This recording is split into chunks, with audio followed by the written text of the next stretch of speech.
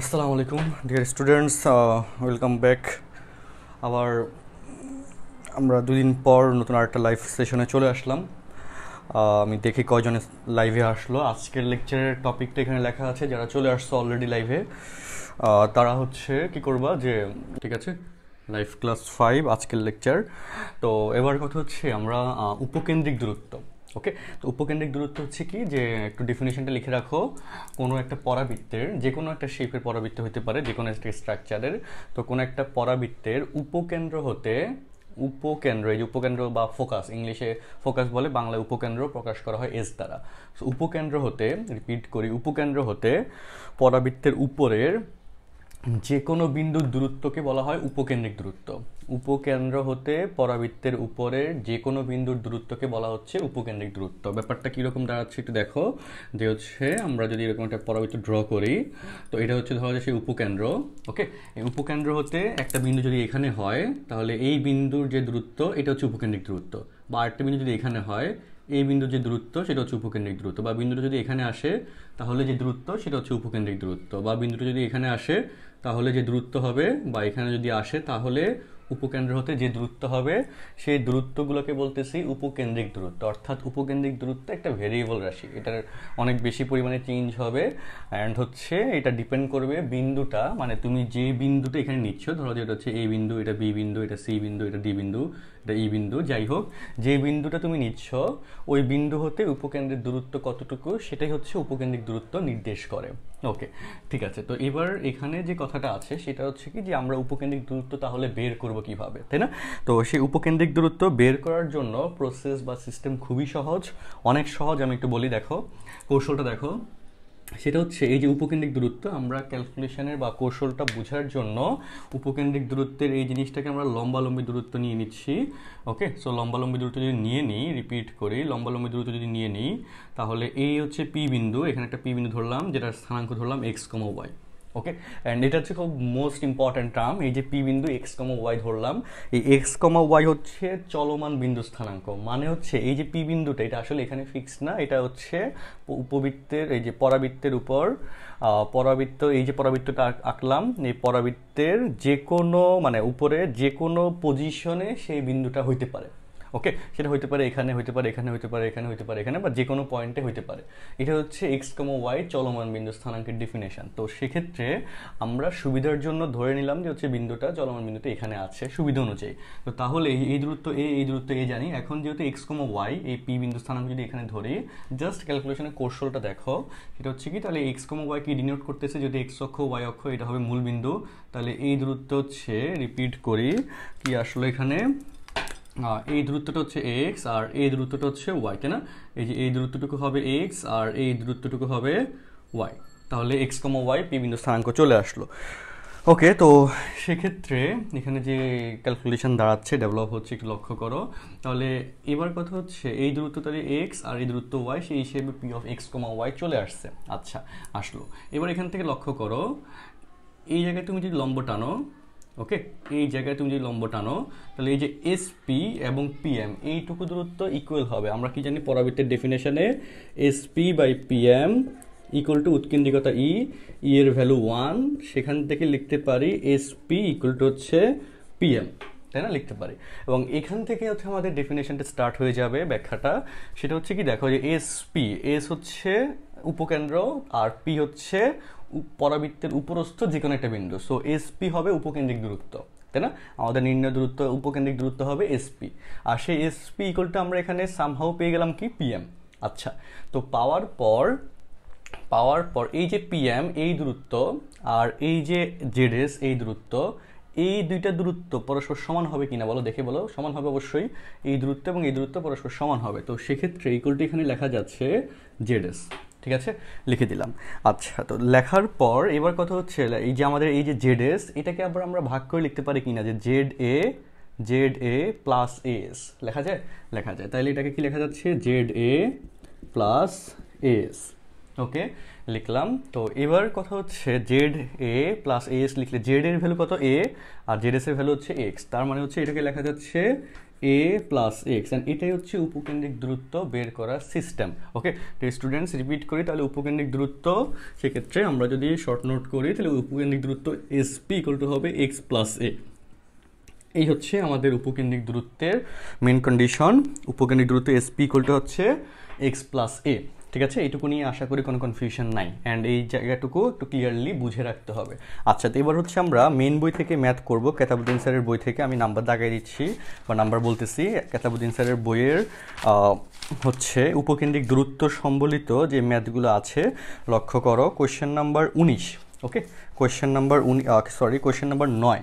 আচ্ছা আমি আমাদের ক্যালকুলেশনের বা লেখার সুবিধার জন্য আমি এটুকু মুছে ফেলতেছি। তোমরা পরে ভিডিওটা পজ করে লিখে নিবো বা হচ্ছে আশা করি এর মধ্যে লিখে ফেলছো, দেখে দেখে। আচ্ছা একটু মুছে ফেললাম। ওকে, মুছে ফেললাম।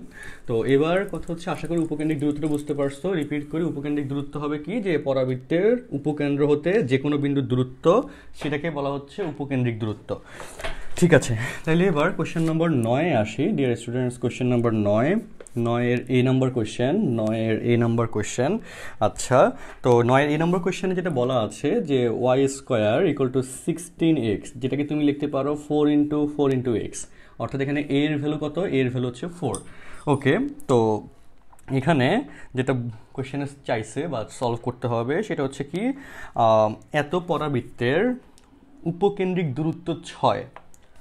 এত পরাবৃত্তের কোনো একটি বিন্দুর উপকেন্দ্রিক দূরত্ব ছয়। ওই বিন্দুর স্থানাঙ্ক নির্ণয় করো।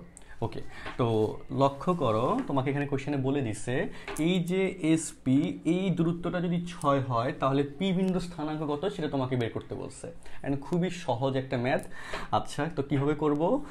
সেটা বের করার জন্য লক্ষ্য করো পি বিন্দু স্থানাঙ্ক মানে হচ্ছে দুইটা ডাটা একটা হচ্ছে এক্সের ডাটা আর একটা হচ্ছে ওয়াই এর ডাটা এই দুইটা ভ্যালু তোমাকে বের করতে হবে। তো সেই কন্ডিশনে এক্সের ভ্যালু বের করার জন্য আমরা এখানে এই সূত্রটাই ইউজ করব। অ্যান্ড এই সূত্রের মধ্যে তোমাকে উপকেন্দ্রিক দূরত্ব এসপি এটার ভ্যালু দিয়ে দিছে ছয়, তাই না? তাহলে এখানে লক্ষ্য করো, এই যে এ ইকুয়াল টু কত বলতো? কোয়েশ্চেন থেকে ফোর এটা কোয়েশ্চেনে দিয়ে দিছে এ ইকুয়াল টু ফোর তারপর হচ্ছে এসপি উপকেন্দ্রিক দূরত্ব এসপি ইকুয়াল টু হচ্ছে ছয়, তাই না? আচ্ছা তারপর লিখতে পারব যে আমরা জানি, লক্ষ্য করো, আমরা জানি এস পি ইকুয়াল টু হচ্ছে এক্স প্লাস এ তাহলে বা এসপির ভ্যালু কত? ছয় ইকুয়াল টু এক্স প্লাস এর ভ্যালু কত? ফোর তাহলে এক্স ইকুয়াল কত লিখতে পারতেছো? সিক্স মাইনাস ফোর সমান চলে আসতেছে টু অর্থাৎ আমাদের এই যে পরাবৃত্তটা, এই পরাবৃত্তের উপকেন্দ্রিক দূরত্ব কত আসছে কী বলি, উপকেন্দ্রিক দূরত্ব ছয়। যে বিন্দুতে, সেই বিন্দুতে এক্সের ভ্যালু কত আসছে? দুই।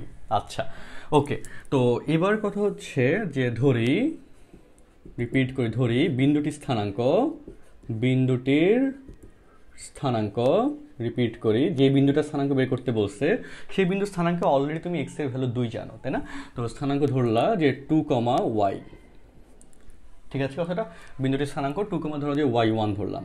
ওকে কারণ বিন্দুটা তো ফিক্সড একটা বিন্দু, যেন ওয়াই ওয়ান ধরলাম। আচ্ছা টু কমা ওয়াই ওয়ান তো এবার বলো, এই বিন্দুটা এই পরাবৃত্তের উপরে অবস্থিত, যে পরাবৃত্তের সমীকরণ হচ্ছে y square equal to sixteen x এই যে টু কমা ওয়াই ওয়ান এই বিন্দুটা y square equal to sixteen x এই পরাবৃত্তের উপরেই অবস্থিত, অর্থাৎ এই বিন্দু দ্বারা এই পরাবৃত্তের সমীকরণ কি হবে বলো? সিদ্ধ হবে।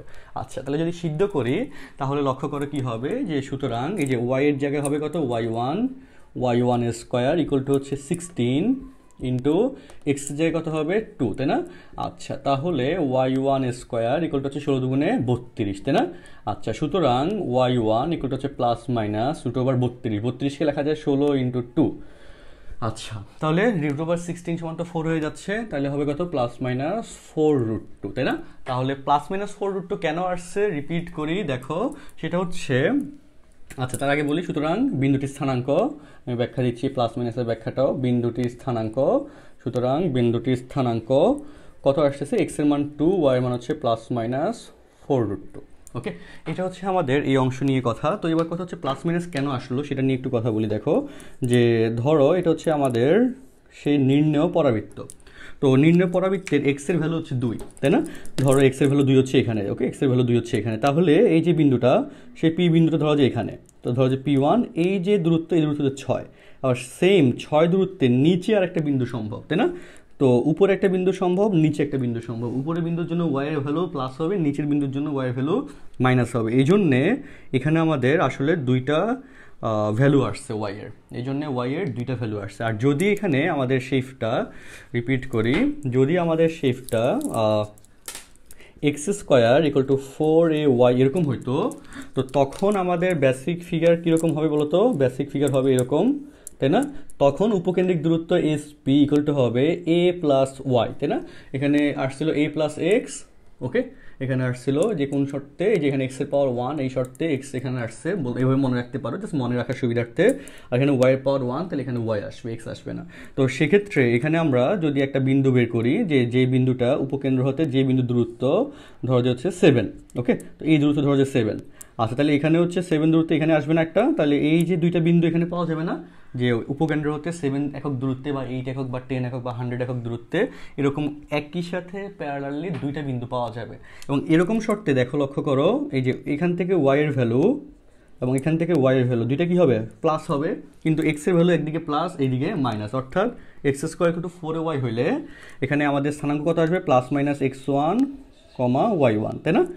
আর এই কন্ডিশনে হবে x one comma plus minus y one এভাবে হচ্ছে আমাদের বিন্দুটার স্থানাঙ্ক ডিফাইন হবে ওকে এই জিনিসটা হচ্ছে বাড়তি বোঝার জিনিস, এটা হচ্ছে একটু বোঝার চেষ্টা করতে হবে। আচ্ছা তাহলে রিপিট করে কি বললাম? যে y square to four x এরকম যদি শর্ত দেওয়া থাকে, তাহলে উপকেন্দ্রিক দূরত্ব যদি বলে দেয় যে পাঁচ বলুক, ছয় বলুক, দশ বলুক, পনেরো বলুক, যেটাই বলে দিবে, আমরা এভাবে বের করতে পারব। অ্যান্ড এই কন্ডিশনে উপকেন্দ্র হতে একটা নির্দিষ্ট দূরত্বে কয়টা বিন্দু অবস্থিত? দুইটা বিন্দু অবস্থিত। উপরে একটা বিন্দু, নিচে একটা বিন্দু, তাই না? রিপিট করে উপকেন্দ্র হতে নির্দিষ্ট দূরত্বে কয়টা বিন্দু অবস্থিত? দুইটা বিন্দু অবস্থিত। একটা হবে উপরে আর একটা হবে নিচে। সো উপরে এবং নিচে কন্ডিশনে এক্সের ভ্যালু তো আর চেঞ্জ হচ্ছে না চেঞ্জ হচ্ছে ওয়াই এর ভ্যালু তাই না? উপরে নিচে তুমি সুইচ করতেছো, উপরে গেলে এক্সের ভ্যালু ওয়াই এর ভ্যালু প্লাস হবে, নিচে গেলে ওয়াই এর ভ্যালু মাইনাস হবে এই জন্য এখানে প্লাস মাইনাস আবার সেমভাবে এখানে যখন আমরা x square to four a y এর কথা বলব, তো x square to four a y এর শর্তে x square to four a y এর শর্তে আমরা এখানে কি পাবো বলতো? ওয়াই এর ভ্যালু নিয়ে মেনলি আমাদের ক্যালকুলেশন যাবে, আর সেক্ষেত্রে এক্সের ভ্যালুটা ডাবল আসবে, তাই ওকে তো তাহলে আমরা উপকেন্দ্রিক দূরত্বের এই পার্টটুকু মোটামুটি কমপ্লিট করলাম, ধরে নিচ্ছি। ঠিক আছে মার্শাল্লাহ তাহলে এবার আমরা উপকেন্দ্রিক দূরত্বটা, এই কনসেপ্টটা শেষ। আমরা এরকম আরেকটা ম্যাথ করি। আশা করি এই অঙ্কটা তুমি ফুললি বুঝতে পারছ। এটা এমসিকিউতে আসে এবং সৃজনশীলের কোশ্চেন নাম্বার কতে আসে। এই জন্যে এই অঙ্কটা পরীক্ষার জন্য বা এই কনসেপ্টটা পরীক্ষার জন্য খুবই ইম্পর্টেন্ট ওকে স্টুডেন্টস আমি একটু মুছে ফেললাম। তারপরের অংশটুকুতে আমি যাচ্ছি। একটু মুছে ফেললাম জিনিসটা। আশা করি এইটুকু বুঝে নিয়ে কোনো সমস্যা নাই। আমি একটু পরে এই আরেকটা ম্যাথ করিয়ে কমেন্ট চেক করব। কমেন্ট চেক করলে তখন তুমি যদি কোনোটা না বুঝো, সেটা আমাকে বলবা, আমি কমেন্ট দেখে তোমাকে সেটা সলভ করে দিব। ঠিক আছে? আচ্ছা নয়ের এই গেল। তারপর হচ্ছে নয়ের বি নয়ের বিতে যেটা বলা আছে ডিয়ার স্টুডেন্টস খুবই সহজ কোশ্চেন আমি এটা করে দিব না। নয়ের বি নম্বর কোশ্চেনটা করে দিচ্ছি না, আমি এটা একটু বলে দিচ্ছি। Y square equal to eight x এই উপবৃত্তের উপ কোনো বিন্দুর উপকেন্দ্রিক দূরত্ব এইট ওই বিন্দুর স্থানাঙ্ক নির্ণয় করো। আগেটাতে ছয় দেওয়া ছিল, এটাতে আট দেওয়া আছে। তো সেমভাবে করে ফেলব, আশা করি তুমি পারবে। আচ্ছা তো নয়ের বি করব না, নয়ের সিতে যাচ্ছি, নয়ের সি। নয়ের সিতে যেটা বলা আছে y square equal to nine x y square equal to nine x এত পরাবৃত্তের এত পরাবৃত্তের উপরস্থ পি বিন্দুর কোটি টুয়েলভ ওই পি বিন্দুর উপকেন্দ্রিক দূরত্ব বের করতে বলছে। খুবই চমৎকার একটা অঙ্ক, লক্ষ্য করো। খুবই সহজ একটা অঙ্ক, দেখো। এই যে আমাদের এটা হচ্ছে ধরো যে সেই পরাবৃত্ত y square to nine x এখানে উপকেন্দ্রের এস স্থানাঙ্ক হচ্ছে এস ধরলা এটা। আচ্ছা তারপর হচ্ছে যে পি বিন্দুটা দেওয়া আছে, সেই পি বিন্দুর কোটি কোটি মানে হচ্ছে ওয়াই এর ভ্যালু সেই কোটির ভ্যালু বারো দেওয়া আছে। আর তোমাকে যেটা বলছে, সেটা হচ্ছে পি বিন্দুর উপকেন্দ্রিক দূরত্ব নির্ণয় করো। ওকে পি বিন্দুর উপকেন্দ্রিক দূরত্ব মানে হচ্ছে এই যে এস বিন্দু হতে পি বিন্দুর যে দূরত্ব, সেই দূরত্ব তোমাকে বের করতে বলছে, তাই না? আচ্ছা তাহলে এবার একটু লক্ষ্য করে বলো রে স্টুডেন্টস এই যে এখানে আমাদের উপকেন্দ্রিক দূরত্বের যে সূত্র ছিল S P equal to x plus a না, এরকম শর্তে, তো এই যে এই এক্সটা কি ছিল? ওই পি বিন্দুর এক্সের স্থানাঙ্ক ছিল তাই না? এখানের এক্সটা কি ছিল? পি বিন্দুর এক্স স্থানাঙ্ক। এখন লক্ষ্য করে, এখানে কি এক্স স্থানাঙ্ক দেওয়া আছে? দেওয়া নাই। আচ্ছা তো সেক্ষেত্রে এইখানে এক্স স্থানাঙ্ক কত? সেটা তোমাকে আগে বের করতে হবে। আর এখানে আরেকটা জিনিস ছিল উপকেন্দ্রের উপকেন্দ্রিক দূরত্ব বের করার জন্য, সেটা হচ্ছে এ আচ্ছা তো এখান থেকে ওয়াই স্কোয়ার নাইন এক্স এখান থেকে এর ভ্যালু বের করতে পারবা না? পারব। কীভাবে পারব? একটু লক্ষ্য করে, আমরা আগে এর ভ্যালু বের করি। Four into nine by four into x লেখা যায় না? Y square to four a x তাই না? সুতরাং এ ইকুয়াল টু কত আসে? নাইন বাই ফোর তাই না? এটা হচ্ছে আমাদের প্রথম অংশের জন্য আমাদের এর মান পেয়ে গেলাম। এখন টার্গেট একটাই, সেটা হচ্ছে এক্সের ভ্যালু বের করা। বের করতে পারলে দুইটা যোগ করে দিলে আমাদের অ্যান্সার চলে আসবে। ওকে তো এবার আমরা যে কাজটা করতে পারি, সেটা হচ্ছে এই যে পি বিন্দুর কোটির ভ্যালু টুয়েলভ দেওয়া আছে, ভুজের ভ্যালু দেওয়া নাই। ধরি সে ভুজের ভ্যালু হচ্ছে এক্স ওয়ান তাই না? ধরতে পারি না? আচ্ছা ধরতে পারি। ওকে তো তাহলে বলো, এই যে পি বিন্দু, এখানে লিখবে এক লাইন যে ধরি পি বিন্দুটির স্থানাঙ্ক এক্স ওয়ান কমা টুয়েলভ লোকে লিখে দিলাম, বা এক্স এক্স কমা টুয়েলভ আচ্ছা তো তারপর যে কথাটা এখানে বলব এখন, সেটা দেখো, সেটা হচ্ছে কি, এই যে পি বিন্দুটা পরাবৃত্তের উপরে অবস্থিত, একটু আগে যেভাবে করছিলাম, তাহলে পি বিন্দু স্থানাঙ্ক দ্বারা এই পরাবৃত্তের সমীকরণ সিদ্ধ হবে। তো সিদ্ধ করে দিলে এক্স ওয়ানের ভ্যালু চলে আসবে। একটু আমরা করি তাহলে দেখো, যে সুতরাং এই যে ওয়াই এর জায়গায় মান হচ্ছে কত? এই যে ধরো এক নং সমীকরণ, এক নং সমীকরণে আমরা যে কাজটা করব, এক নং এ, এক নং এ পি বিন্দুর স্থানাঙ্ক বসিয়ে, তাই না? পি বিন্দুর, এভাবে একটা লাইন লিখলা, স্থানাঙ্ক বসিয়ে এভাবে লিখলাম আমরা। তাহলে ওয়াই এর ভ্যালু হচ্ছে কত? বারো twelve square okay twelve square equal to হচ্ছে নাইন অফ এক্সের ভ্যালু হচ্ছে কত? এক্স ওয়ান আচ্ছা তাহলে এই যে এক্স ওয়ান ইকুয়াল হচ্ছে একশো টুয়েলভ স্কোয়ার মানে একশো চুয়াল্লিশ, আর নিচে হচ্ছে নয়। আচ্ছা তাহলে একশো চুয়াল্লিশ নয় সমান আসবে কত? ষোলো, ঠিক আছে? তাহলে এক্স ওয়ানের ভ্যালু পাচ্ছি কত? ষোলো। আচ্ছা তাহলে মানে হচ্ছে সুতরাং এখানে আমাদের এক্সের ভ্যালু পাচ্ছি কত? ষোলো। ওকে, তাহলে সুতরাং উপকেন্দ্রিক দূরত্ব, নির্ণয় উপকেন্দ্রিক দূরত্ব এটা লিখলা এস পি ইকুয়াল হচ্ছে এক্স প্লাস এ ওকে, তুমি চাইলে এখানে এক্স ওয়ান না ধরে এক্স ধরতে পারো, সমস্যা নেই। এখানে ধরা যাবে, কারণ এটা যেহেতু কোন জায়গায় হবে সেটা আমি শিওর না বললে এটাকে এক্স ধরতেও পারি। আচ্ছা বেশি সমস্যা নেই। তো তাহলে এবার দেখো এক্সের জায়গায় এখানে মান পাচ্ছি কত? সিক্সটিন আর এর জায়গায় মান পাচ্ছি কত? নাইন বাই ফোর তাই না? এক্সের জায়গায় মান পাচ্ছি সিক্সটিন এর জায়গায় পাচ্ছি নাইন বাই ফোর তাহলে লক্ষ্য করো, চার ষোলো চৌষট্টি যোগ নয় ডিভাইড বাই চার, লসাগু করলে চৌষট্টি আর নয় কত হবে? চৌষট্টি আর নয় হচ্ছে, আমাদের কত আসবে? তিয়াত্তর বাই চার। এটা হচ্ছে অ্যান্সার আশা করি লেখাটা দেখা যাচ্ছে। ওকে তিয়াত্তর বাই চার, এটা হচ্ছে আমাদের এই অঙ্কের অ্যান্সার আচ্ছা একটু জিনিসটা উঠে নাও। আমি এরপরে হচ্ছে কিছু কমেন্ট চেক করি। কমেন্ট চেক করে আমরা লাস্ট দিন, গত ক্লাসে যে অঙ্কগুলো দিছিলাম, ওই অঙ্কগুলোর মধ্যে যে অঙ্কগুলোতে তোমার সমস্যা ফেস করছ, সেই অঙ্কগুলো আমি সমাধান করে দিচ্ছি। ওকে তো আমরা এখন আজকের লেকচারে আমরা এখন ফার্স্টলি কী দেখলাম? উপকেন্দ্রিক দূরত্ব কীভাবে বের করতে হয়, সেই জিনিসটা দেখলাম। ঠিক আছে? ওকে তাহলে একটু জিনিসটা উঠাও, আমি কমেন্টগুলো একটু চেক করি। ওকে অ্যান্ড এর মধ্যে যদি কোনো পয়েন্টে সমস্যা থাকে, আমাকে একটু কাইন্ডলি জানাও, আমি জিনিস প্রবলেমগুলো সলভ করে দিব। আচ্ছা।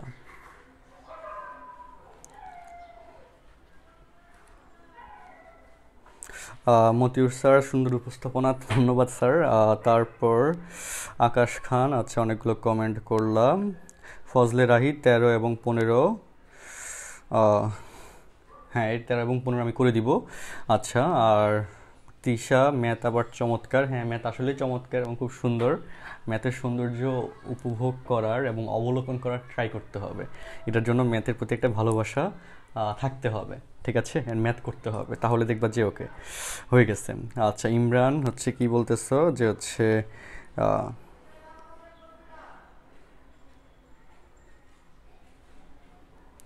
আচ্ছা অক্ষরেখা সবসময় এক্স অক্ষ বা ওয়াই অক্ষের ক্ষেত্রে হয় কি না এটা নিয়ে তোমার সমস্যা কিছু নাই, কারণ তোমার এখানে তো কাজ হচ্ছে এক্সের ভ্যালু নিয়ে আর হচ্ছে এ এর ভ্যালু নিয়ে, তাই না? এক্সের ভ্যালু আর এ এর ভ্যালু সো অক্ষরেখা যেখানে হোক না কেন, এখানে এক্সের ভ্যালু তোমাকে চেক করতে হবে ওই কোয়েশ্চেন থেকে, আর এ এর ভ্যালুটা চেক করতে হবে।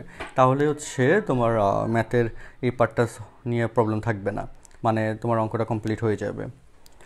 এই জিনিসটা জানতে হবে বুঝে রাখতে হবে আচ্ছা। ওকে তাহলে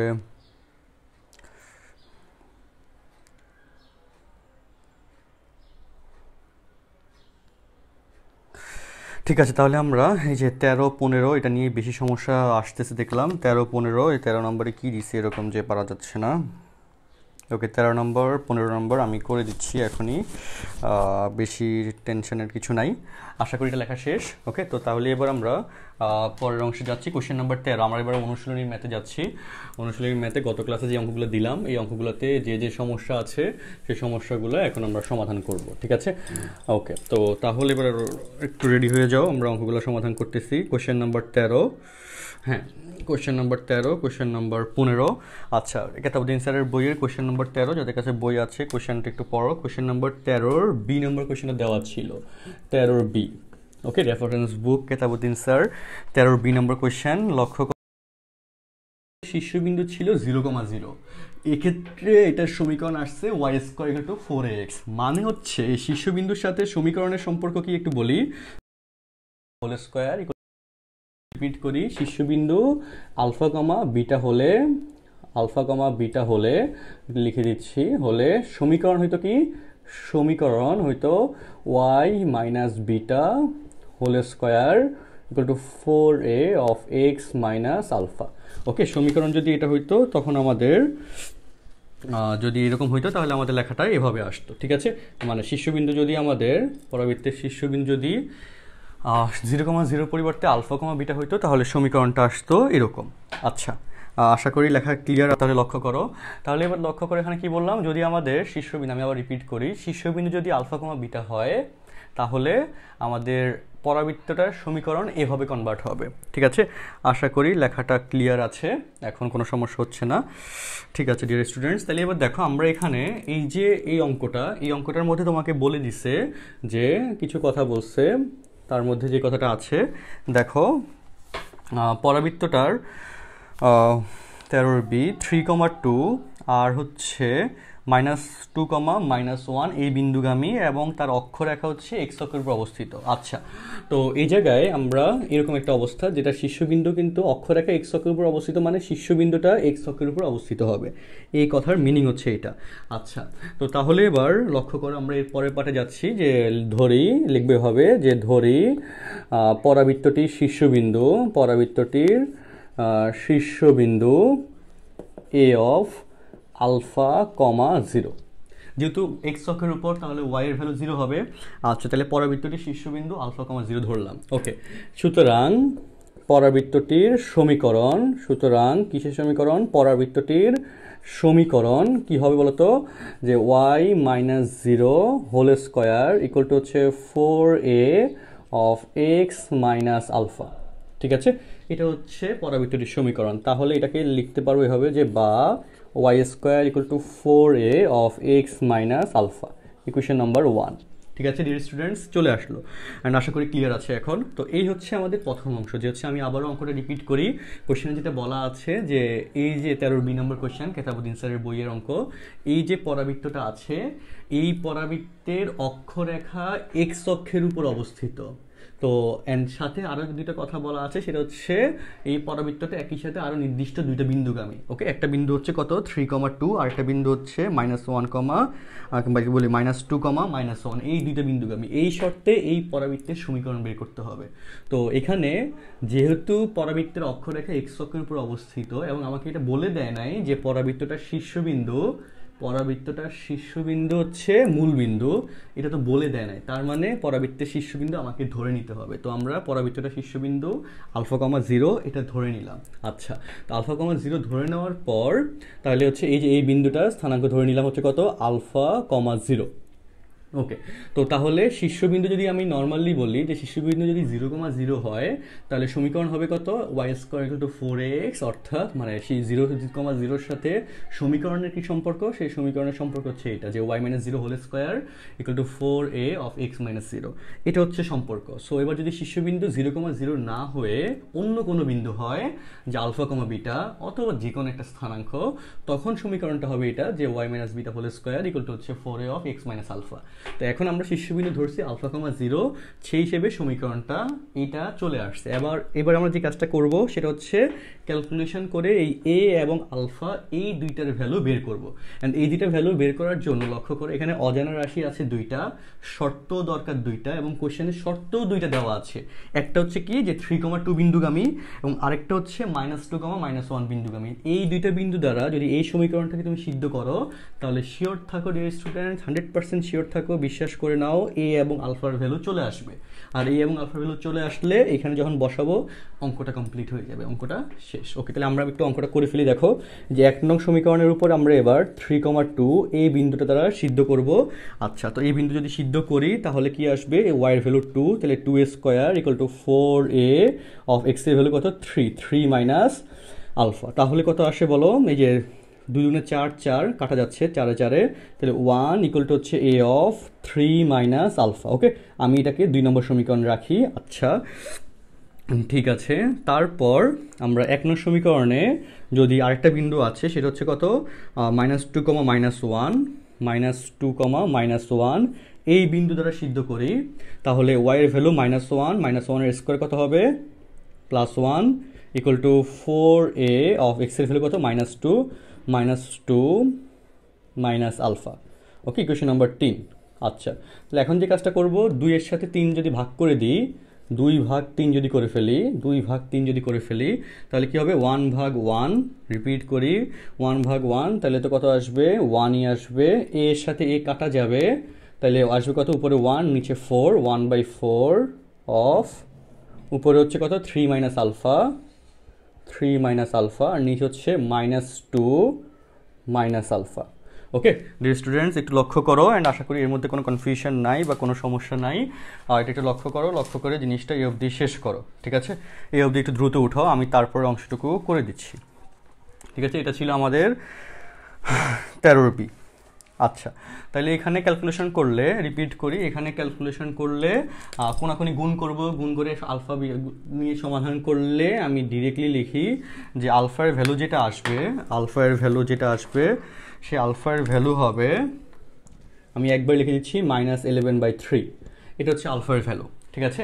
এই হচ্ছে আলফার ভ্যালু আমাদের তেরোর বি নম্বর কোশ্চেনে এর পরে দুই লাইন ক্যালকুলেশন করব, কোনাকুনি গুণ করে আলফার ভ্যালু সমাধান করব আলফার ভ্যালু আসবে এটা। এবং এই আলফার ভ্যালু এই আলফার ভ্যালু তুমি যদি দুই নম্বর অথবা তিন নম্বর রিপিট করি, তুমি যদি দুই নম্বর অথবা তিন নম্বর যে কোনো একটা সমীকরণে বসাও, তাহলে কি চলে আসবে? এর ভ্যালু চলে আসবে। ধরো যদি তুমি দুই নম্বর সমীকরণে আলফার ভ্যালু বসাইলা। ওকে দুই নম্বর সমীকরণে আলফার ভ্যালু বসাইলা বসাইলে কি আসে?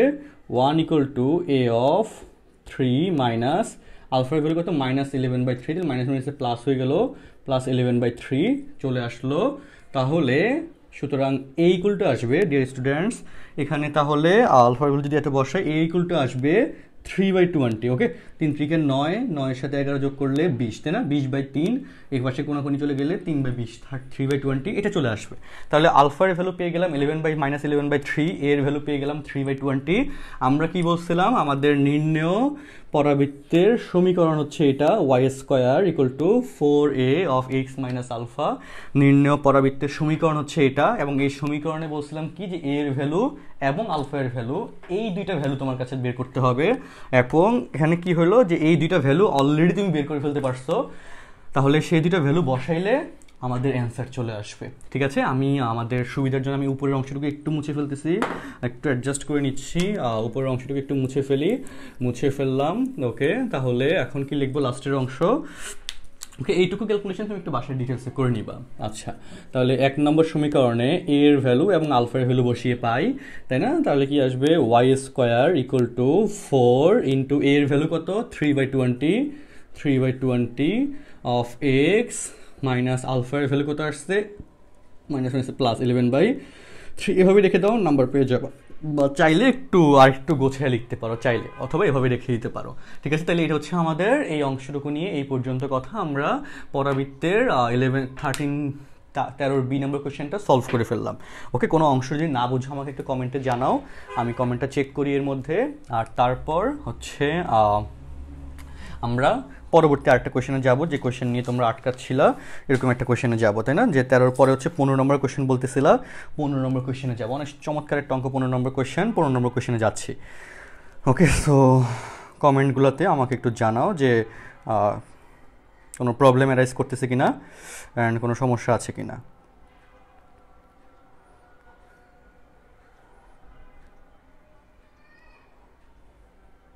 অ্যান্ড আশা করি ভিডিও লাইটিং বা হচ্ছে আমাদের লেখাগুলো স্পষ্ট বা হচ্ছে লেখা ঘোলা হচ্ছে না, এই সমস্যাগুলো আজকে খুব কম, তাই না?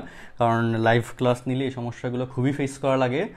আচ্ছা ওকে, আর এখানে আমি একটা কথা বলি, সেটা হচ্ছে এই যে আমাদের এখনকার যে করোনা পরিস্থিতি নিয়ে যে সমস্যা তুমি নিজে চেষ্টা করলেও পরিস্থিতির কোনো ইম্প্রুভমেন্ট তুমি করতে পারবা না। এটা তুমি তো বিশ্বাস করতেছো, এটা শিওর এটা আমাদের হাতে নাই। তো এই জন্য তোমাকে এগুলো নিয়ে প্যানিক হওয়া যাবে না। তো তুমি যেটা করবা সেটা হচ্ছে নিউজ টিউজ দেখে বাদ দিয়ে দাও। তোমার কাজ হচ্ছে পড়াশোনা করা, তুমি কমপ্লিটলি পড়াশোনা করো, পড়াশোনা করে সিলেবাসটা আগে নাও। এটা হচ্ছে মেন কথা। ওকে তুমি যদি পড়াশোনা বাদে এগুলো নিয়ে চিন্তা ভাবনা করো লাস্ট যেটা হয়েছিল, আমার নিজের ক্ষেত্রে যেটা হয়েছিল, প্রথম প্রথম এগুলো নিয়ে চিন্তা করে অনেক বেশি টেন্সড হয়ে গেছিলাম, অনেক বেশি আতঙ্কগ্রস্ত হয়ে গেছিলাম। এর ফলে কিছুই করতে পারতেছিলাম না অ্যান্ড খুবই খারাপ লাগা কাজ করতেছিল। অ্যান্ড রিসেন্টলি লাস্ট তিন চার দিন ধরে যেটা করতেছি যে নিউজই দেখতেছি না ওকে যে রাতের বেলা লাস্টে হচ্ছে আম্মুর সাথে একটু কথা বলি, তখন হচ্ছে যাবতীয় ডেইলি মানে আজকের দিনে কজন আক্রান্ত কজন আক্রান্ত হয় নাই, বা কজন সুস্থ হয়েছে, এই জিনিসগুলো পেয়ে যাই। সো আর ঘুরে ফিরে অত টেনশন কাজ করে না, আর বাকি দিন মোটামুটি একটু প্রোডাক্টিভ হয়, অনেক কাজ বা কিছু কাজ করতে পারি। এটা হচ্ছে ফ্যাসিলিটি বা সুবিধা। তো এই জন্যে এগুলো নিয়ে প্যানিক হওয়া যাবে না। হচ্ছে একটু মন দিয়ে কি করতে হবে বলো? যে পড়াশোনা করতে হবে। ওকে এটা ছাড়া কোনো বিকল্প নেই। আর তোমাদের বার, তোমরা এবার যারা বোর্ড পরীক্ষা দুই হাজার একুশ সালে দিতা, তোমাদের বোর্ড পরীক্ষা যে অনেক পিছিয়ে দিবে, এটা একেবারে ভুল ধারণা। তার কারণ হচ্ছে বড় বড় কলেজগুলোতে অলরেডি লাইভ ক্লাস নেওয়া শুরু হয়ে গেছে, নিচ্ছে অনেকগুলো কলেজে। তো এর ফলে যেটা হবে, সেটা হচ্ছে যদি শিক্ষা মন্ত্রণালয়ে এরকম কোনো মানে ইয়া উঠে প্রপোজাল উঠে যে আমরা বোর্ড পরীক্ষাটা এদের এদের জন্য একটু পিছাই। তো তখন কিন্তু বড় কলেজগুলো বলবে যে, আমরা তো লাইভ ক্লাস নিয়ে শেষ করছি, আপনারা কেন পিছাবেন? তো এর ফলে কি হবে যে, পিছাইলেও বেশি পিছাবে না, হয়তো দুই সপ্তাহ, তিন সপ্তাহ বা সর্বোচ্চ এক মাস মানে এপ্রিলের জায়গায় হয়তো মেতে তোমাদের বোর্ড পরীক্ষা, একুশ সালে বোর্ড পরীক্ষাটা স্টার্ট হবে। অথবা এটাও না হইতে পারে, কারণ যে আরেকটা ব্যাপার যেটা ঘটে, সেটা হচ্ছে নির্বাচনী পরীক্ষা বা টেস্ট পরীক্ষা স্টুডেন্টদের হয়ে যায় নভেম্বর মানে ফুল নভেম্বর মাস জুড়ে হয়ে যায় বা কিছু কিছু কলেজে ডিসেম্বর মাঝামাঝি সময় শেষ হয়ে যায়। তারপরে হচ্ছে তিন মাস টাইম স্টুডেন্টরা গ্যাপ পায়। ওই গ্যাপে কী করে? রিভিশন দেয়। তো তোমাদের বা যেটা হইতে পারে, সেটা হচ্ছে যদি এপ্রিলে পরীক্ষা নেয়, তাহলে কি করবে? ওই যে তিন মাস টাইমটা তোমরা তিন মাস পাবা না, তোমরা ওইখানে টাইমটা তোমাদের কমে আসবে। হয়তো তোমার ফুল সিলেবাস কলেজে শেষ করতে করতে, যেখানে নভেম্বরের মধ্যে অক্টোবরের লাস্ট উইকে কলেজে ফুল সিলেবাস শেষ করে ফেলে, সেখানে কি করবে? হয়তো ডিসেম্বরে শেষ করবে। আর জানুয়ারিতে তোমার টেস্ট পরীক্ষা নিবে। জানুয়ারিতে পরীক্ষা শেষ ফেব্রুয়ারি মার্চ তুমি হয়তো দুই মাস টাইম পাবা বা এক মাস হচ্ছে রিভিশনের জন্য টাইম পাবা। এপ্রিলে তোমার ফাইনাল পরীক্ষা দেওয়া লাগবে। এরকম একটা সিচুয়েশন অ্যারাইজ করবে। তো এটার জন্য কি করা যাবে না? এই জন্য তোমার প্রিপারেশনে কোনোভাবে গ্যাপ রাখা যাবে না। তোমার কাজ পড়াশোনা করা, তুমি পড়াশোনা করে যাবা। অ্যান্ড তোমার এর বাইরে চিন্তা ভাবনাই বাদ দিয়ে দাও। অনেকেই হচ্ছে খেয়ে দিয়ে ঘুমায় টাইম নষ্ট করে ফেলতেছ। এগুলা বাদ দিয়ে ডেলি একটা রুটিন করে রাখো যে হচ্ছে আমি আজকের দিনে বা ডেলি মিনিমাম ছয় থেকে সাত ঘণ্টা পড়াশোনা করব। মিনিমাম ওকে তো এটা যেভাবেই হোক তুমি মেনটেন করবা। করলে তোমার পড়াগুলো মোটামুটি আগে যাবে, ঠিক আছে? আর লাইভ ক্লাসগুলো খুব ইফেক্টিভ হচ্ছে লাইভ ক্লাসগুলো ইফেক্টিভ হবে ইনশাল্লাহ তো সেই ক্লাসগুলো মেনটেন করো, আশা করি বেস্ট একটা রেজাল্ট অবশ্যই করতে পারবা, ঠিক আছে? ওকে তাহলে আমি এর পরের অংশে যাচ্ছি। ওকে তাহলে এই অঙ্কটা আশা করি উঠানো শেষ তোমার। এর মধ্যে অনেকে কমেন্ট করছ বিভিন্ন কিছু নিয়ে। মোটামুটি পনেরো এ নিয়ে কথা বলতেছো। পনেরো এ নাম্বারটা আচ্ছা হ্যাঁ রেনুমা পনেরো এ নাম্বারটা আমি এখনই করে দিচ্ছি। আচ্ছা আচ্ছা আজান দিচ্ছে, একটু আমরা এক মিনিটের জন্য হচ্ছে পনেরো এ কোয়েশ্চেনটা যেটা বলা আছে, যে স্টুডেন্টস একটু লক্ষ্য করো। পনেরো এ নাম্বার কোয়েশ্চেনে যে এরূপ একটি পরাবৃত্তের সমীকরণ নির্ণয় করো। যার উপকেন্দ্রিক লম্বের প্রান্তবিন্দু দুটি স্থানাঙ্ক থ্রি কমা ফাইভ ও থ্রি কমা মাইনাস থ্রি আচ্ছা তো একটা উপকেন্দ্রিক লম্বের প্রান্তবিন্দু হচ্ছে থ্রি কমা ফাইভ ওকে আর একটা হচ্ছে থ্রি কমা আরেকটা দেওয়া আছে কত? থ্রি কমা মাইনাস থ্রি আচ্ছা থ্রি কমা মাইনাস থ্রি তো এটা থেকে অনেকগুলো জিনিস বোঝা যায়। দেখো, আমি কী কী বুঝতে পারি? দেখো, প্রথমত এই এল এবং এল প্রাইম এই যে উপকেন্দ্রিক লম্বের প্রান্তবিন্দু এই দূরত্ব ফোরে ছিল, এই দূরত্ব ফোরে ছিল। অর্থাৎ এই উপকেন্দ্র হতে এই দুইটা বিন্দুর দূরত্ব সমান ছিল। মানে কি বোঝাচ্ছে? মানে হচ্ছে এল এবং এল প্রাইম এইটার মধ্যবিন্দু হচ্ছে এস এল এবং এল প্রাইম এই দুইটা বিন্দুর মধ্যবিন্দু এস তো মধ্যবিন্দু শর্ত দিয়ে তুমি অলরেডি উপকেন্দ্র বের করতে পারবা। আমাকে এখানে বের করতে বলছে কি যে উপকেন্দ্র এই পরাবৃত্তটার সমীকরণ বের করতে বলছে। বের করতে বলছে, তাহলে সেক্ষেত্রে এখানে আমরা উপকেন্দ্রটা আমরা মধ্যবিন্দু শর্ত দিয়ে বের করতে পারব। তাহলে লিখি, সুতরাং উপকেন্দ্র, লক্ষ্য করো, সুতরাং উপকেন্দ্র এস হচ্ছে কত? আমরা এখানে অভেদ চিহ্ন দিয়ে লিখতে পারি এস হচ্ছে এই যে three plus three by two comma five minus three by two তাই না? বা এস অফ তিন তিন, ছয় ছয় বাই দুই, তিন, আর হচ্ছে পাঁচ মাইনাস তিন, দুই দুই বাই দুই কত হয়? এক। তাহলে থ্রি কমা ওয়ান মানে হচ্ছে এখানে উপকেন্দ্রের স্থানাঙ্ক, তুমি পেয়ে গেছো কত? রিপিট করি, উপকেন্দ্রের স্থানাঙ্ক পেয়ে গেছো থ্রি কমা ওয়ান ঠিক আছে? এখন লক্ষ্য করো ডিয়ার স্টুডেন্টস এই যে উপকেন্দ্রিক লম্ব, এটা কিন্তু এক্স অক্ষ বলতে পারব না। তাই না? পারব বলো, পারব না। ওকে কারণ থ্রি কমা ওয়ান তো আর এক্স অক্ষের উপর অবস্থিত হয় না। ওকে তো এবার দেখো, এই যে উপকেন্দ্রিক লম্বটা, এটা কি মোটামুটি ওয়াই অক্ষের উপর সমান ওয়াই অক্ষের সমান্তরাল বলা যাবে না? আচ্ছা আমি একটু অক্ষটা আঁকি, দেখো অক্ষটা আঁকি সেটা হচ্ছে অক্ষটা হবে এরকম। ওকে এক্স অক্ষ ওয়াই অক্ষ, বোঝার জন্য। একটু কমপ্লিকেটেড ম্যাথ এটা। অ্যান্ড বুঝতে পারলে তেমন জ্ঞান লাগবে না, সহজ আছে। বুঝতে পারাটা হচ্ছে মেইন ব্যাপার ওকে এই যে এক্স অক্ষ, এটা হচ্ছে ওয়াই অক্ষ। তো এইদিকে তিন, এদিকে এক, সেটা ধরে যাওয়ার উপকেন্দ্র, এস স্থানাঙ্ক হচ্ছে থ্রি কমা ওয়ান ফিগারটা হচ্ছে এরকম আসলো। তাহলে শীর্ষবিন্দুটা এখানে আছে, তাই না? শীর্ষবিন্দুর অন্য একটা জায়গায় আছে। তো সেই শীর্ষবিন্দু, এই যে শীর্ষবিন্দু, এই শীর্ষবিন্দু এ এই শীর্ষবিন্দু স্থানাঙ্ক আলফা কমা বিটা আমরা ধরে নিলাম। ঠিক আছে? কারণ শিশুবিন্দু স্থানাঙ্ক কি হবে সেটা তো তুমি এখনও জানো না। জানো বলো, জানো না। তো শিশুবিন্দু স্থানাঙ্ক তো জানতে হবে। সো শিশুবিন্দু স্থানাঙ্ক ধরে নিলাম আলফা কমা বিটা। মানে এখানে এক্সের একটা মান পাওয়া যাবে ওয়াই এর একটা মান পাওয়া যাবে। আচ্ছা এবং আরেকটু ব্যাখ্যা আছে, দেখো, যে স্টুডেন্টস লক্ষ্য করো। সেটা হচ্ছে কি যে এখানে আমাদের যেটা ঘটতেছে, দেখো, এই যে, এই থ্রি থ্রি থ্রি আমরা এভাবে ফিগারটা কেন আঁকলাম? এইরকমই স্পেসিফিক শেপ কেন হইল?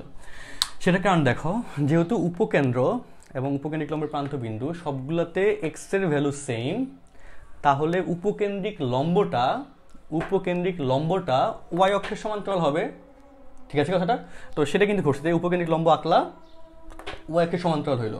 উপকেন্দ্রিক লম্ব যদি ওয়াই অক্ষের সমান্তরাল হয় তাহলে উপকেন্দ্রটা যে রেখার উপর অবস্থিত, সেই রেখাকে বলতেছি আমরা এক্স এই যে কি বলি সেটাকে? অক্ষরেখা বলি, উপ, পরাবৃত্তের অক্ষরেখা বলি। তো উপকেন্দ্রিক লম্বটা যে রেখার উপর অবস্থিত মানে উপকেন্দ্রটা যে রেখার উপর অবস্থিত, সেই রেখাটাকে পরাবৃত্তের অক্ষরেখা বলে। অক্ষরেখার ডেফিনেশন কী ছিল?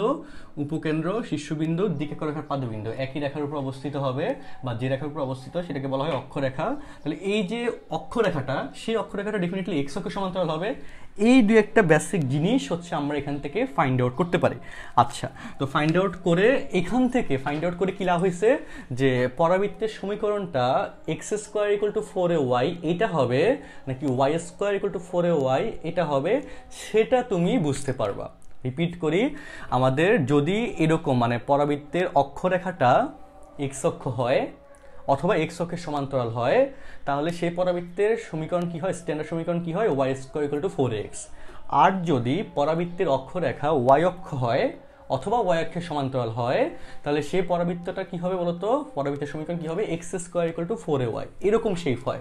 তো এই ডাটাগুলো দিয়ে আমরা এটা ফিল করতে পারলাম বা ফাইন্ড আউট করতে পারলাম যে এই যে পরাবৃত্ত, এই পরাবৃত্তের শীর্ষবিন্দু মানে কি বলি, সমীকরণ আসলে এক্স স্কোয়ার ইকুয়াল টু কত হবে? নাকি হচ্ছে y square equal to a structure হবে? সেটা আমরা ফাইন্ড আউট করতে পারলাম।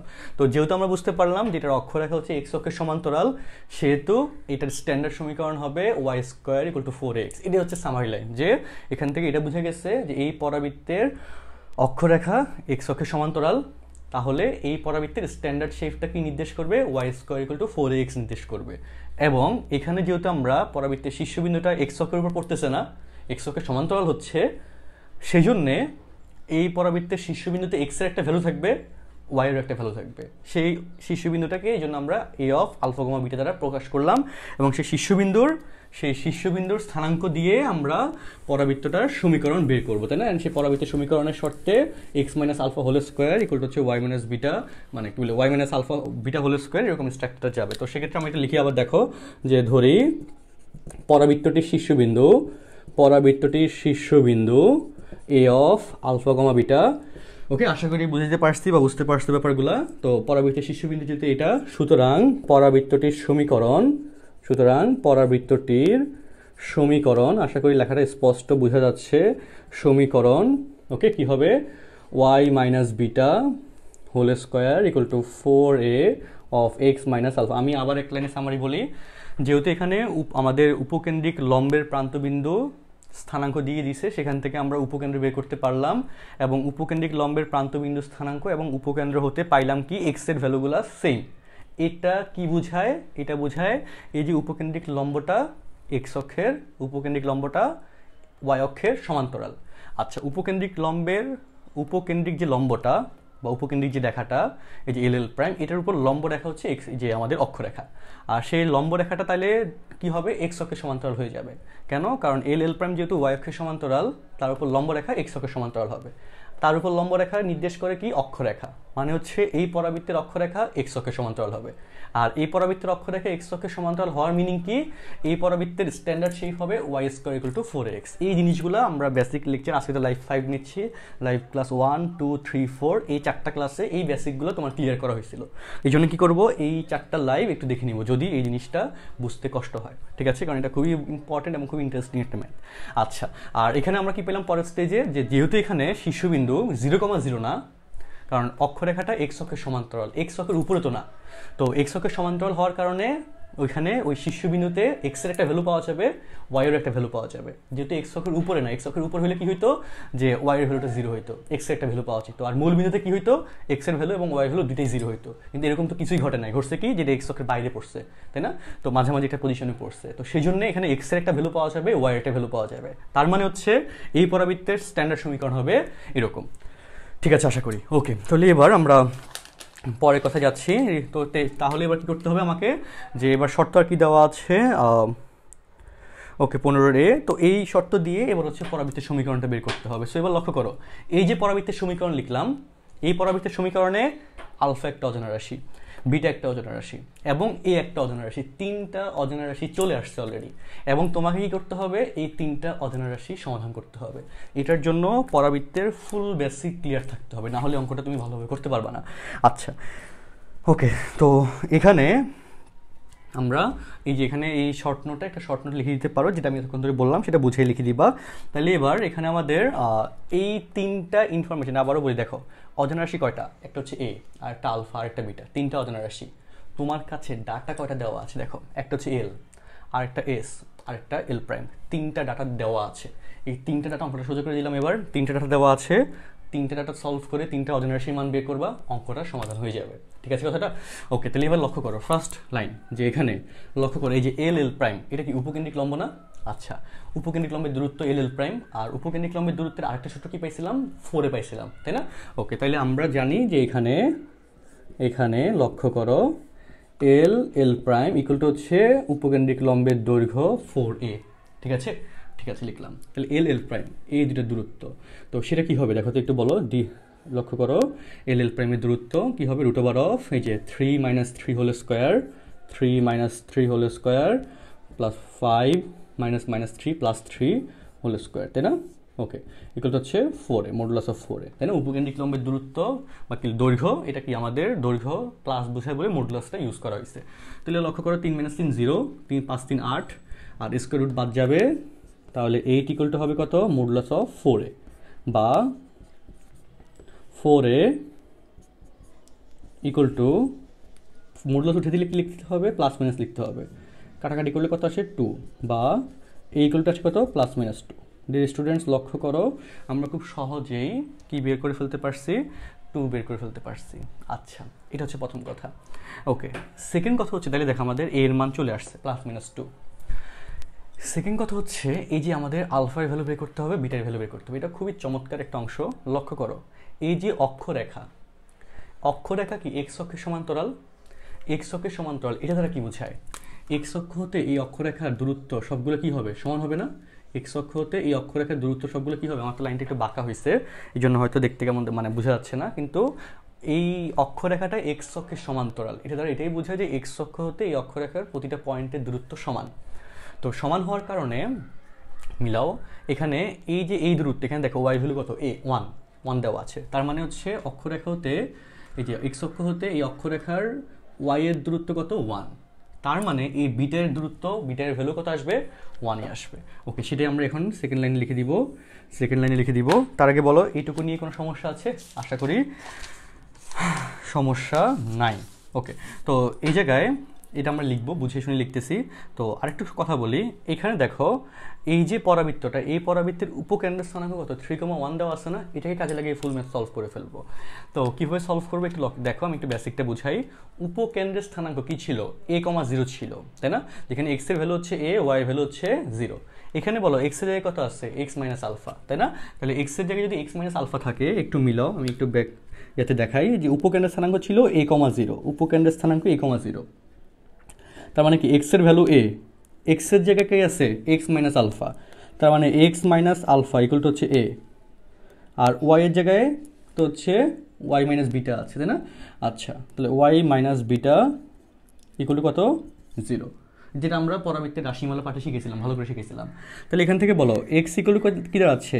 এ প্লাস আলফা আর ওয়াই ইকুয়াল কী দাঁড়াচ্ছে? বিটা এ দাঁড়াচ্ছে না এক্সের ভ্যালু এত ওয়াই ভ্যালু এত। এটা জাস্ট রাফ করে নিতে পারো বোঝার জন্য। রাফ করে নিবা ওকে এটা জাস্ট আমরা রাফ করে নিব ক্যালকুলেশনে বোঝার জন্য। আশা করি সমস্যা হবে না। রিপিট করি, আমি আবারও বলি, ঠিক আছে? কারণ এগুলো একটু কমপ্লিকেটেড জিনিস, বুঝতে কষ্ট হয়। কি বললাম? উপকেন্দ্রের স্থানাঙ্ক এ কমা জিরো এটা জানি। এখানে এর ভ্যালু এক্সের ভ্যালু হচ্ছে এ ওয়াই ভ্যালু হচ্ছে জিরো এক্স দ্বারা এখানে কি আছে? এক্সের জায়গায় আছে? এক্স মাইনাস আলফা পরবর্তী রাশিমালা পাঠ এগুলো শিখেছিলাম। এক্সের জায়গায় আছে এক্স মাইনাস আলফা তো সেক্ষেত্রে এক্স মাইনাস আলফার ভ্যালু হচ্ছে এ তাহলে এক্স এগুলো লেখা যায় এ প্লাস আলফা ওয়াইয়ের জায়গায় কী আছে? ওয়াই মাইনাস বিটা তাই না? ওই যে বড় হাতের ওয়াই বড় হাতের এক্স দিয়ে লিখছিলাম। তো ওয়াই মাইনাস বিটার পরিবর্তে আছে জিরো তাহলে ওয়াই ইকুয়াল হচ্ছে বিটা আচ্ছা তাহলে আমাদের এক্সের ভ্যালু এত ওয়াইয়ের ভ্যালু এত। উপকেন্দ্র মানে কি? এক্স কমো ওয়াই এক্সের ভ্যালু এত ওয়াই ভ্যালু এত। এটাই আমরা ডিরেক্টলি লিখব। যে ধরি, উপকেন্দ্র স্থানাঙ্ক, উপকেন্দ্র এস হচ্ছে কত? A plus alpha comma beta a plus alpha comma beta okay directly ঠিক আছে? এই জিনিসগুলো আমরা এভাবে শিখে রাখতে পারব। আচ্ছা তাহলে সুতরাং এই যে এ প্লাস আলফা এটার মান কত দেওয়া আছে বলো তো উপকেন্দ্রের থ্রি ঠিক আছে? বুঝো কথাটা বলা। বা আলফা ইকুয়াল টু আমাদের তো আলফা ভ্যালু দরকার। আলফা ইকুয়াল টু কি? থ্রি মাইনাস এ না? বলো, বুঝো। তাইলে এবার a equal to plus minus two a equal to two হলে alpha equal to three minus two সমান কত আসে ওয়ান আচ্ছা আর a equal to minus two হলে alpha equal to three minus মাইনাসে প্লাস টু সমান কত হয়ে যায় ফাইভ তাহলে আলফার ভ্যালু কিন্তু কত পেয়ে গেছি? ওয়ান এবং ফাইভ আচ্ছা এবং আলফার ভ্যালু কিন্তু পেয়ে গেলাম, গেল, এবং বিটা ইকুয়াল টু বিটার ভ্যালু কত এই যে এখানে বিটা মানে কি? ওয়াই ভ্যালু ওয়াই ভ্যালু কত? ওয়ান তাহলে beta equal to directly one চলে আসছে, ঝামেলা শেষ। তাহলে কি হলো এখানে আমাদের? এ আলফার ভ্যালু পেয়ে গেলাম বিটার ভ্যালু পেয়ে গেলাম। আবার সাথে হচ্ছে এর ভ্যালু পেয়ে গেলাম। মোটামুটি যায় ঝামেলা কমপ্লিট এর ভ্যালু যখন প্লাস টু আলফার ভ্যালু তখন ওয়ান বিটার ভ্যালু ওয়ানের ভ্যালু যখন মাইনাস টু আলফার ভ্যালু ফাইভ বিটার ভ্যালু ওয়ান এই ডাটাগুলো দিয়ে এবার হচ্ছে আমরা এই যে পরাবৃত্তের সমীকরণ, এই সমীকরণটা কমপ্লিট করব এবং এরকম কয়টা সমীকরণ পাওয়া যাবে? দুইটা সমীকরণ পাওয়া যাবে। আচ্ছা ডিয়ার স্টুডেন্টস আশা করি অবধি বুঝতে পারছ। আমি যে লাস্ট অংশ লিখি, এটুকু গেল। আমি একটু উপরের অংশটুকু মুছে ফেলব, মুছে ফেলে এর পরের অংশটুকু লিখব, ঠিক আছে? এর পরের অংশটুকু লিখে দিচ্ছি ওকে এটা দেখে দেখে, ঠিক আছে? সুতরাং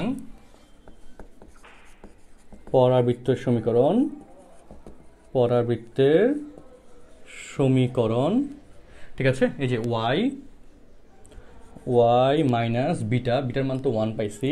Y minus one whole square equal to four okay four এর ভ্যালু যখন টু আলফার ভ্যালু ওয়ান তাহলে এর ভ্যালু যদি তুমি টু নাও four into two into x minus alpha alpha value কত আসছে? ওয়ান এবং এবং y minus one whole square equal to four into এর যদি তুমি মাইনাস টু নাও, তাহলে এক্স মাইনাস আলফা ভ্যালু কত আসবে? ফাইভ এক্স মাইনাস ফাইভ ঠিক আছে? এই হচ্ছে আমাদের অঙ্কের অ্যান্সার তাহলে আমরা কি পাইলাম? এখানে হচ্ছে এই টোটাল অংশটুকু বা এই পনেরোর এই অঙ্কটা মোটামুটি সমাধান করতে পারলাম, ঠিক আছে? রিপিট করি, এটাই হচ্ছে আমাদের নির্ণয় অ্যান্সার এই যে দুইটা সমীকরণ আসছে, এই সমীকরণ দুটো হচ্ছে আমাদের নির্ণয় অ্যান্সার এগুলো। পার্ট বাই পার্ট নিচে গোছিয়ে লিখব। একটু বড় হবে অঙ্কটা। অ্যান্ড পরে ভিডিওটা পজ করে দেখে নিব, ঠিক আছে? মানে হচ্ছে আবার পর পার্ট বাই পার্ট উঠে নিব। আচ্ছা তাহলে আমি কমেন্টগুলো আবার একটু চেক করি। এর মধ্যে কোনো কমেন্ট কারও কোনো কনফিউশন আছে কি না আচ্ছা। ও।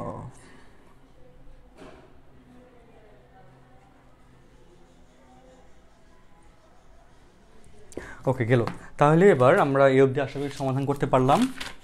হ্যাঁ কোয়েশ্চেন নাম্বার ষোলো করাবো। আমরা এই একটু মুছি। আমি নেক্সট ক্লাসে আজকের ক্লাসে হোমওয়ার্ক দিচ্ছি। দেখো, আজকের ক্লাসে হচ্ছে যেহেতু শেষ হইল, সেটার সাথে হোমওয়ার্ক দিয়ে দিচ্ছি। কোয়েশ্চেন উপকেন্দ্রিক লম্বের জন্য কোয়েশ্চেন নাম্বার শোনো, একটু খাতা লিখে রাখো। নয় নম্বর, নয়ের এ বি সি এই তিনটে কোয়েশ্চেন আবার একটু করব। নয় নম্বরের, নয়ের বি নম্বর তো করে দিই না নয়ের বি নম্বরটা করে ফেলব বাসায়। আচ্ছা তারপর হচ্ছে কোয়েশ্চেন নাম্বার পাঁচ নম্বর এবং কোয়েশ্চেন নম্বর ছয়। পাঁচ এবং ছয় এই দুটো কোয়েশ্চেন করব, ঠিক আছে?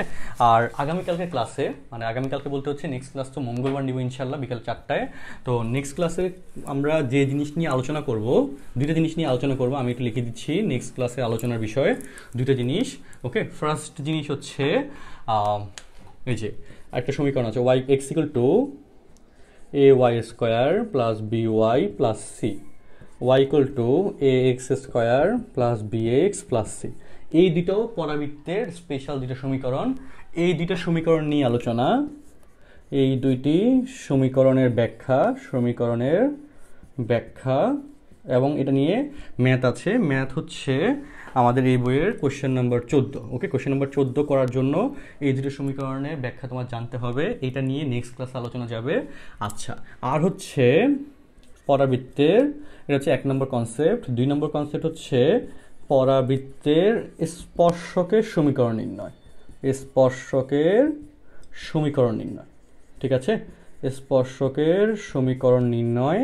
ওকে, এটা নিয়ে হচ্ছে কোশ্চেন নাম্বার ষোলো। এটা নিয়ে হচ্ছে কোয়েশ্চেন নাম্বার ষোলো। ওকে, বইয়ের কোয়েশ্চেন নাম্বার ষোলো। এই দুইটা কনসেপ্ট নিয়ে ইনশাল্লাহ নেক্সট ক্লাস আলোচনা হবে। এই দুইটা কনসেপ্ট আমরা, আমার যখন রেগুলার ব্যাচে ক্লাস পাইছিল যারা, এই দুটো কনসেপ্ট ওইভাবে পড়ানো হয় নাই। তো সেই জন্য আজকের এই যে আমরা নেক্সট ক্লাস যেটা করব নেক্সট ক্লাসে হচ্ছে এই দুটো অংশ নিয়ে আলোচনা যাবে। অ্যান্ড এটা খুবই ইম্পর্ট্যান্ট এবং খুবই মানে এটাকে কী বলে ট্রিকি দুটো অংশ। কোয়েশ্চেন নম্বর চোদ্দ এবং ষোলোর অংশ। এই দুটো অংশ আমরা নেক্সট ক্লাস ইনশাল্লাহ মঙ্গলবার বিকাল চারটায় জাস্ট টাইম ইনশাল্লাহ স্টার্ট করব, ঠিক আছে? অ্যান্ড আশা করি সবাই ভালো আছো বা ভালো থাকার চেষ্টা করো, বাইর হয়েও না। আর মোস্ট ইম্পর্ট্যান্ট থিং যেটা বললাম, একটা কথা সেটা হচ্ছে কি যে প্যানিক হওয়া যাবে না, ঠিক আছে? তোমার কাজ পড়াশোনা করা, তুমি বাসায় বসে বসে পড়াশোনা করবা। এবং অবশ্যই ডেইলি মিনিমাম সাত ঘণ্টা থেকে আট ঘণ্টা পড়াশোনা করবা। বাসার কিছু কাজকর্ম করো, আম্মুকে হেল্প করো কাজে। অ্যান্ড সাথে হচ্ছে কিছু কাজ শিখে রাখো। এই কোয়ারেন্টাইনের এই টাইমটা কাজে লাগো। এই টাইমটা এরকম একটা ফ্রি টাইম তোমার লাইফে সেকেন্ডবার পাওয়া বলে তুমি মনে আমার আমার নিজের কাছে মনে হয় না অ্যান্ড পাওয়ার সম্ভাবনাও নাই। তো সেই জন্যে কী করতে হবে? একটা কাজই করতে হবে যে এই টাইমটাকে ইউটিলাইজ করতে হবে। প্যানিক হওয়া যাবে না টেনশন মাথায় নেওয়া যাবে না, আতঙ্কগ্রস্ত হওয়া যাবে না, বেশি বেশি খবর দেখা যাবে না। খবর দেখা বাদ দিয়ে দেওয়া আপাতত। রাতের বেলা ঘুমানোর আগে বা দরকার হলে কিছু সময় একটু ইয়ে করে খবর দেখলাম। কিন্তু সারাদিন এরকম খবর দেখে, এত নিউজ দেখে কি হবে? তুমি জাস্ট অনেক বেশি প্যানিকড হয়ে যাবা। তোমার মাথায় জিনিসগুলো নিয়ে অনেক বেশি টেনশন কাজ করবে। তখন করোনা না হইলেও অন্য কোনো রোগ তোমার মাথায় এসে ঢুকবে বা তোমার শরীরে এসে এন্টার করবে। কারণ আতঙ্কগ্রস্ত হইলে মানুষের ইমিউনিটি সিস্টেম কমে যায়। মানুষের ইমিউনিটি সিস্টেমে অনেক বেশি ডিস্টারবেন্স ক্রিয়েট হয়। তো এটার জন্যে এরকম করা যাবে না, ঠিক আছে? অ্যান্ড সবাই সুস্থ থাকো, ভালো থাকো, আমার জন্য দোয়া করেন। আমিও দোয়া করি যেন তোমরা সুস্থ থাকতে পারো, ঠিক আছে? ওকে তাহলে তোমরা আজকে অবধি রাখি। ইনশাল্লাহ পরবর্তী ক্লাসে দেখা হচ্ছে। আল্লাহ হাফিজ। আসসালামু আলাইকুম।